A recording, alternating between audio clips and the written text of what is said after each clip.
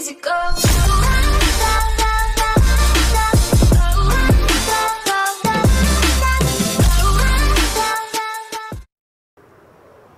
Yo, what's going on YouTube? It's your boy Caspa, and I'm back with another episode of Building with Caspa.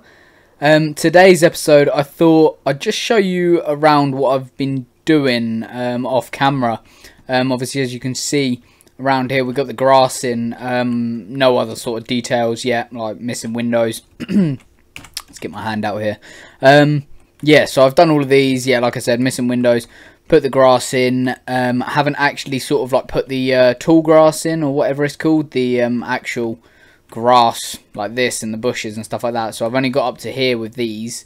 Um, obviously we go all the way over here. This is where we ended last episode.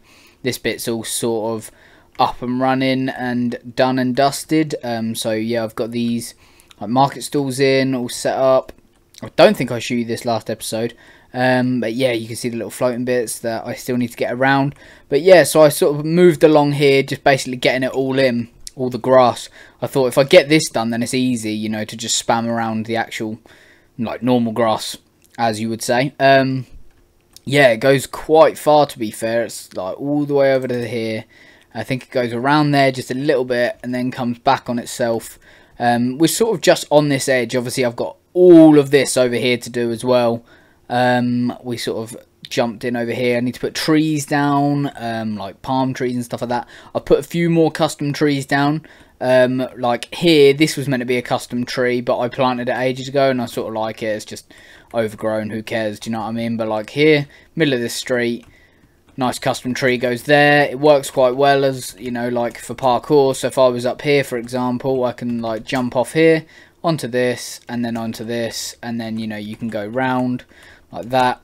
If I could actually make a jump, I'd obviously jump up here and then onto this ladder. I've used like a uh, rail here to sort of look like that this ladder is actually like hanging. Uh, it's like a rope ladder rather than like a solid ladder that I've got sort of yeah like this ladder rather than it sort of being a whole actual like ladder that goes all the way up that you've sort of propped against and it's sort of just a little bit overhanging we've got a rope ladder um yeah so that's sort of like what I was going with that so nice custom tree there, custom trees there. Um, still need to, like I said, put the um, spore blossoms down. Come in here a little bit. This bit's all sort of actually designed with the normal grass and the bushes.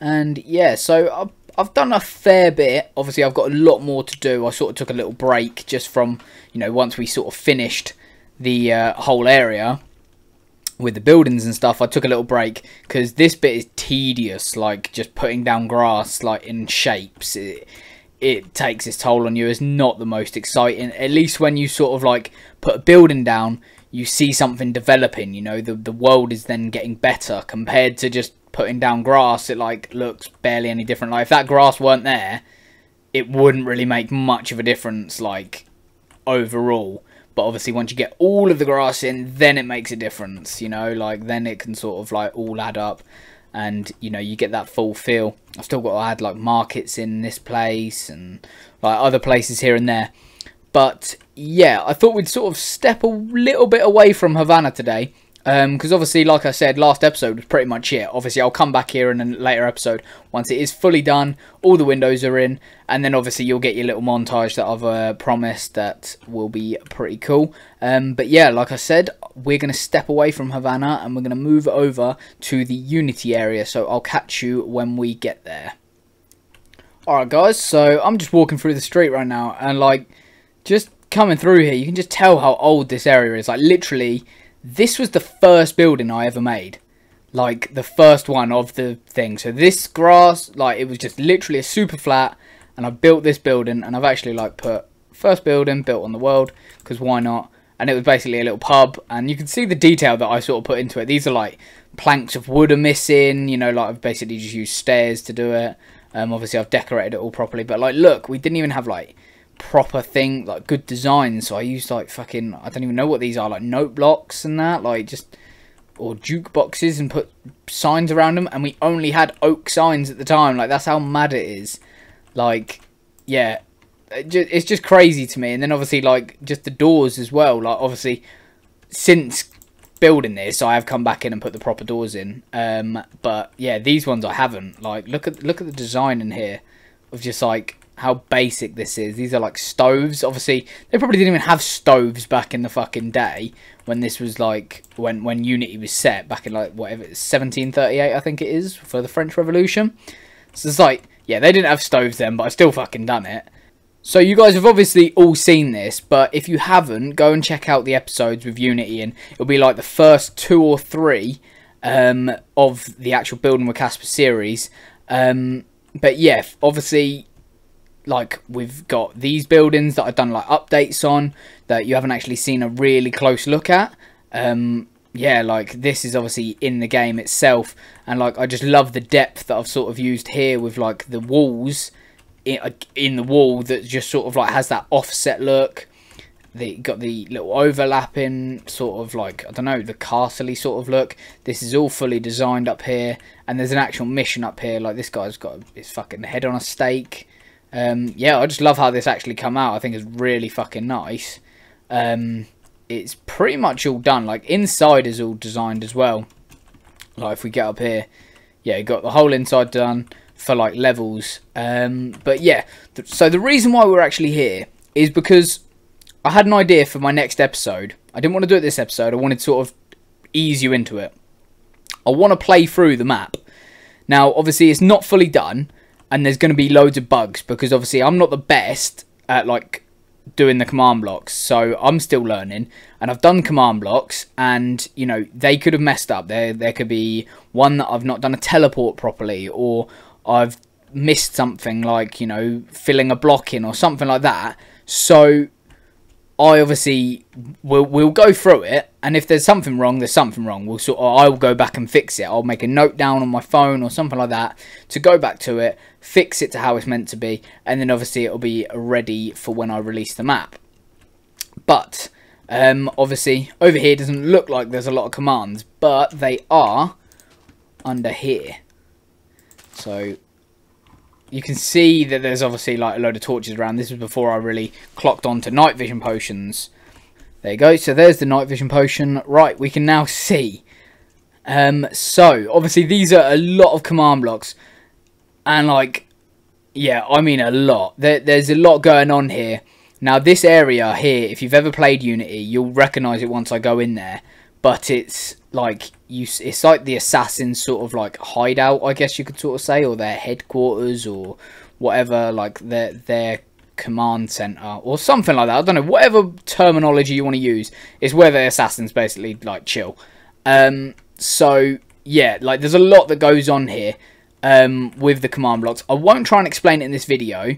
If you do want to see like how i've sort of done it and you know the thought process behind a lot of things then you know, let me know in the comments and we'll sort of go through it. So, if we just drop in over here, like I said, if you've played Unity, you'll recognise this area. I actually need to get these sea pickles actually put in for candles, so we may as well do that while we're here. And what's nice is they will add actual lighting rather than having to use these torches. And there's the bucket of milk. So now this is the lighting that we're dealing with. So let's We'll go with the same that we've got here. So we've got one there, two there. We've got three over here. One, two. So I'll get these in, and then I'll be right back. Okay, so the candles are all lit. Now, I'm going to grab this just in case, because I have a feeling as soon as I knock this out, it's going to be really dark. And yeah, it is. It does have a nice atmosphere to it, though. But I'm not sure how I'm going to feel about how dark it is. That is like it's kind of spooky. Like it's pretty cool. I don't know whether to leave it like that. Let me know in the comments what you sort of think. I could obviously add a few more, like maybe some down here, if that makes sense. So like maybe like besides these, just to sort of like fill out this area. Maybe like one down here. Get a couple there. Just like that sort of thing. Just to, like, they don't really... There you go. Like, three gives out a lot of light. Two, not so much. Like maybe we put a three there. See, that's not too bad. Uh, let me know what you think. Like, obviously, it's quite nice that it's a little bit dark. Because obviously, it sort of shows that you're underground. Because that's where this is. So, yeah, coming through here. This is where you speak to your Mandem Bellec. I need to fill this hole in. just like that. Um, so yeah, this is like the Assassin's HQ. Like I said, you've got these Assassin's Creed logos down here on the bottom of the um, like big curtains, basically. Obviously, in the game they overlap and there's nowhere to sort of stop that, but I've done the best that I can. Um, we got these pictures of like people up here. I like these ones because they look like sort of like assassins and the photo has been like or you know a painting has been done of them with their swords or something like that you know obviously i know they have hidden blades but they also wield swords um, this bit right here is like blocked off with barrier blocks because you're not actually meant to go here yet. So obviously when you teleport in here for the first time you speak to this guy and then this bit is all fully open. So we'll just go through here. Again look we've got some more candles that i can put down so i'll do that um, coming through here. Like this was built before like campfires were a thing, but I don't think I really like how a campfire would look up here. Like obviously getting smoke and stuff, I can't even put it down. But yeah, getting smoke and that. But yeah, I think that looks alright, you know. Um, obviously there's chains, but um, I come back in here and built that. Um, yeah, so I could do with some like candles here as well. Um, but yeah, so like you come out here, you speak to these guys who are all like the the big mans of the uh, of the place and then like press the button to begin the initiation. So that's like to speak to these guys. You can obviously have a look around if you really want. Um, but yeah, so that's what we're sort of dealing with. So let me get the candles in and get this like lighting all fixed. Um, I haven't. I need to go through like all of this area and put candles in all of the areas in in uh, in the Unity bit. Um, but obviously that'll take too long to do on camera. So I'm going to quickly do that, and then I'll be right back. Alright guys, I'm back. Um, I forgot to show you that I sort of like put an Assassin's Creed like logo sort of thing on the floor here. Um, well, I tried. Obviously, a small little bit of pixel art. Um, sort of looks like a fucking spaceship from the top down. Um, but yeah, so I've put in these candles. I've added a few more of these like little circular things. Before there was like a post here, like just on this block here, where it had a torch on top.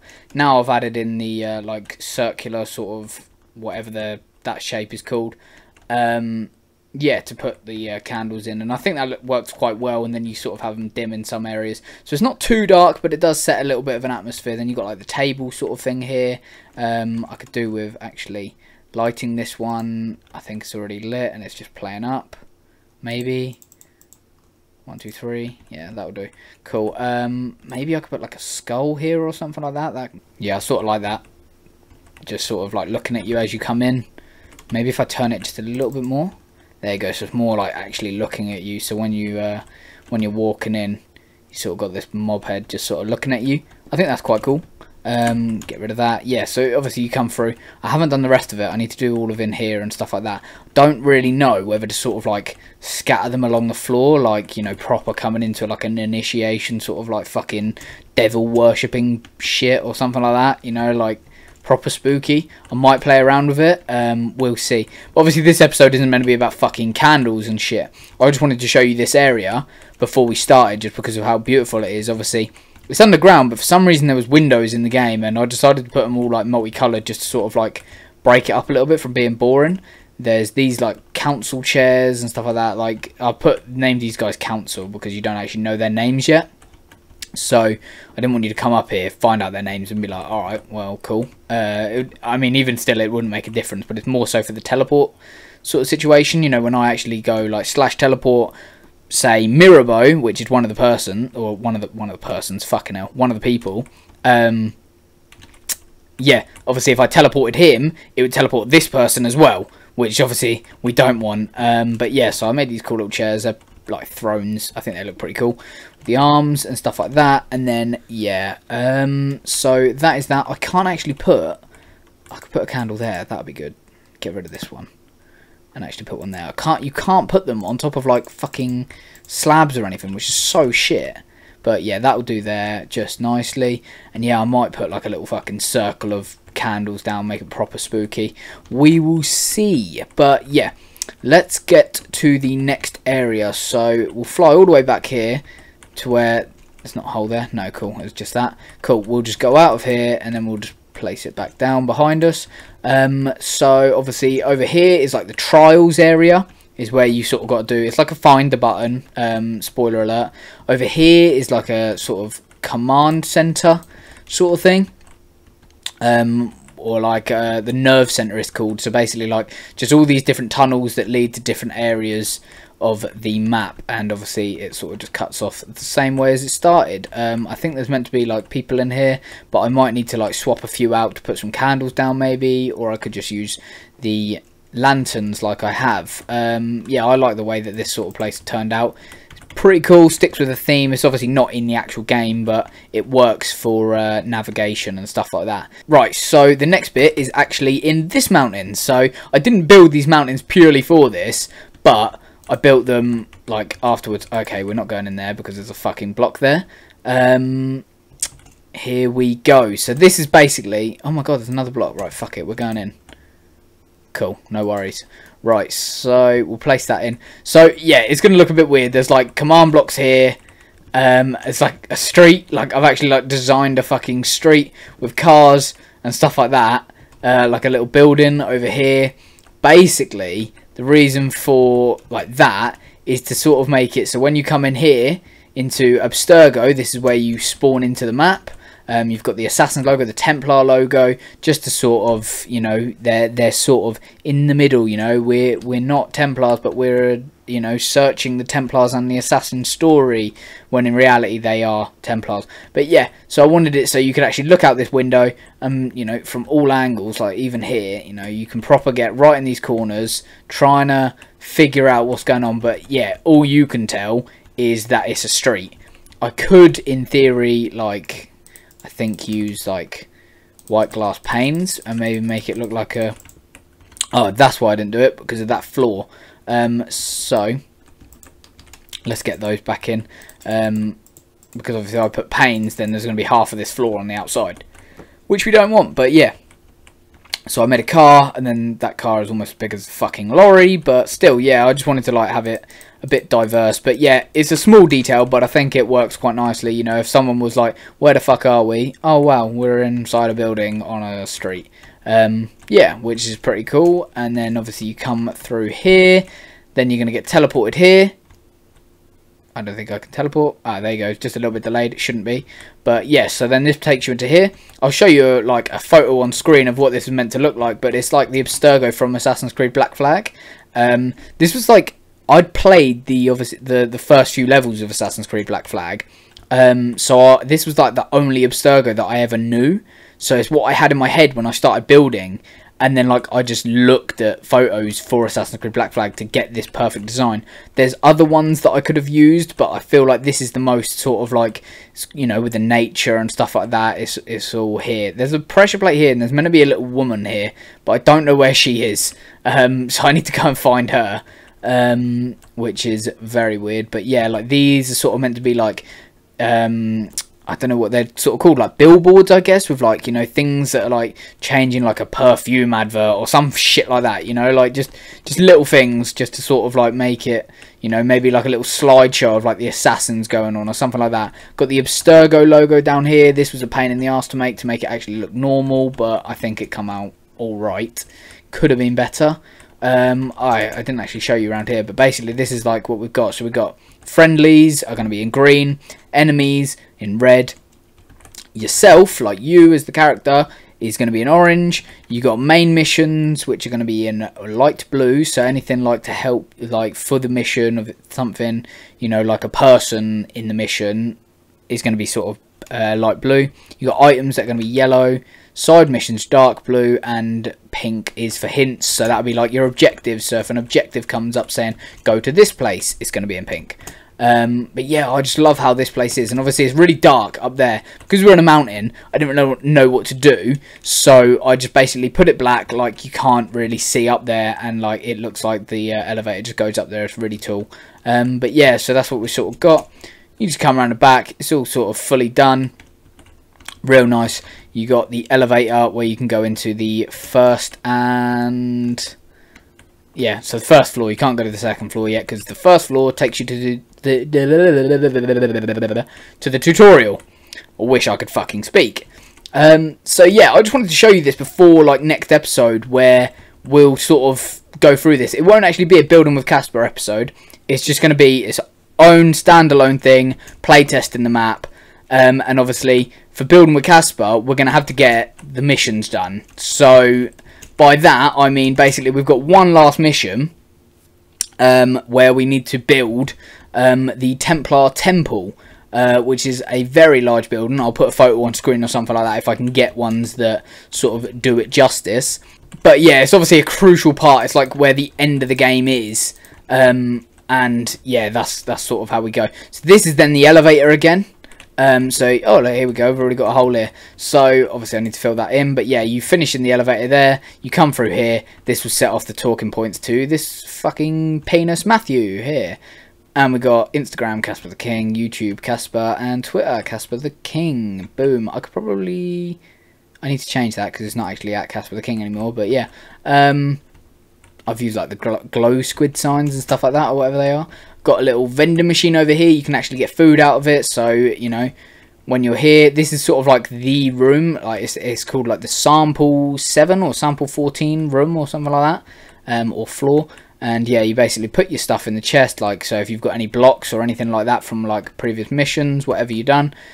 Um, and then it tells you who you're going to be playing as. So you put your helmet on, click the button and boom you go into the thing so Bayek of Siwa that will take you to Origins. You got uh, Unity over here which is Arno Dorian 1789 I said 39 earlier or 37 you got the creative ones so pretty similar. Like obviously they're all different designs because some are angled and some are not.